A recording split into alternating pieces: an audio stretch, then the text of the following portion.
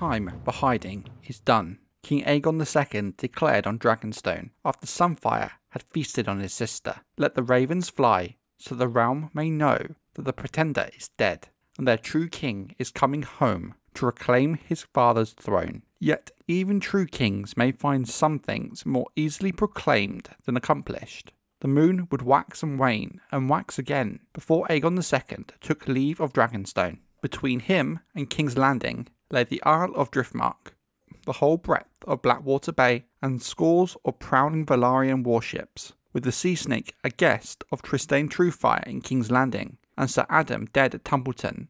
Command of the Velaryon fleet now rested with Adam's brother, Alyn, the younger son of Mouse, the shipwright's daughter, a boy of fifteen. But would he be a friend or foe? His brother had died fighting for the queen, but that same queen had made their lord a captive and was herself dead. Ravens were dispatched to Driftmark, offering House Velaryon pardon for all its past offences if Alyn of Hull would present himself on Dragonstone and swear allegiances. But until and unless an answer was received, it would be a folly for Aegon II to try and cross Blackwater Bay by ship and risk his capture nor did his grace wish to sail to King's Landing. The days following his half sister's death, the king still clung on to the hope that the Sunfyre might recover enough strength to fly again. Instead, the dragon only seemed to weaken further, and soon the wound on his neck began to stink. Even the smoke he exhaled had a foul smell to it, and towards the end he would no longer eat. On the ninth day of the twelfth moon of 130 AC, the magnificent golden dragon that had been King Aegon's glory died in the outer yard of Dragonstone where he had fallen. His grace wept and gave orders that his cousin, Lady Baela, be brought up from the dungeons and put to death. Only when her head was on the block did he repent, when his maester reminded him that the girl's mother had been a Velaryon, the sea snake's own daughter. Another raven took wing for Driftmark, this time with a threat. Lest Alyn of Hull present himself within a fortnight to do homage to his rightful liege, his cousin, the Lady Baela, would lose her head. On the western shore of Blackwater's Bay, meanwhile, the Moon of the Three Kings came to a sudden end when an army appeared outside the walls of King's Landing. For more than half a year, the city had lived in fear of Ormond Hightower's advancing host. But when the assault came, it came not from the Old Town, by way of Bitterbridge and Tumbleton, but from the King's Road, from Storm's End.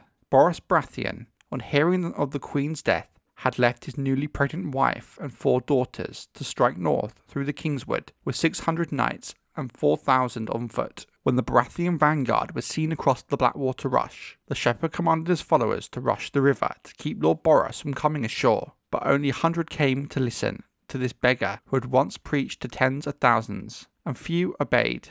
Atop Aegon's high hill, the squire, now calling himself King Trystane Truefyre, stood on the battlements of Larys Strong, and Sir Perkin the Flea, gazing at the swelling ranks of the Stormlanders. We do not have the strength to oppose such a host, sire, Lord Larys told the boy. But perhaps words can succeed where swords must fail. Send me to parley with them. And so the clubfoot was dispatched across the river under a flag of truce, accompanied by Grand Maester Orwyle and the Dowager Queen Alicent. The Lord of Storm's End received them in a pavilion on the edge of the Kingswood, as his men felled trees to build rafts for the river crossing.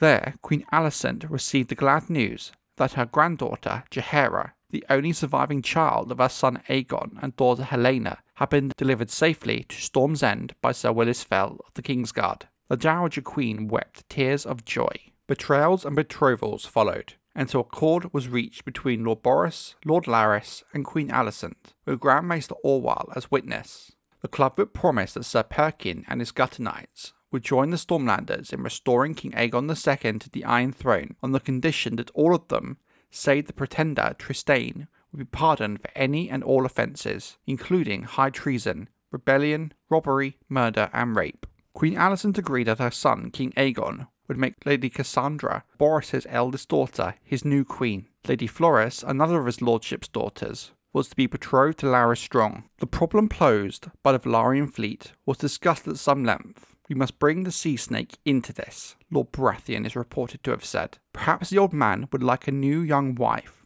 I have two daughters not yet spoken for. He's a traitor thrice over, Queen Alicent said. Rhaenyra could have never taken King's Landing but for him. His grace, my son, will not have forgotten. I want him dead. He will die soon enough in any case, replied Lord Larys Strong. Let us make our peace with him now, and make what use of him we can. Once all is safely settled, if we have no further need of House Velaryon, we could always lend the stranger a hand. And so it was agreed. Most shamefully, the envoys returned to King's Landing, and the Stormlanders soon followed, crossing the Blackwater Rush without incident. Lord Borros found the city walls unmanned, the gates undefended, the streets and squares empty, save for corpses. As he climbed Aegon's high hill with his banner bearer and household shields, he saw the ragged banner of the squire, Trystane, hauled down from the gatehouse battlements, and the golden dragon banner of King Aegon II raised in its stead. Queen Alicent herself emerged from the Red Keep to bid him welcome, with Sir Perkin the Flea beside her. Where is the pretender? Lord Borros asked, as he dismounted in the outer ward. Taken in chains, replied Sir Perkin.